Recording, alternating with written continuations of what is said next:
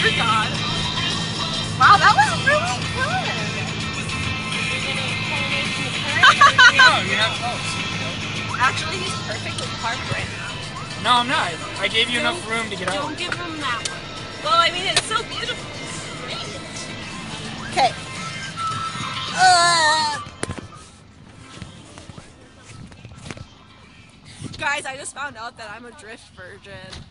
Am I still one, or did that count? What? Am I still like a virgin? Or no, you were just drifting.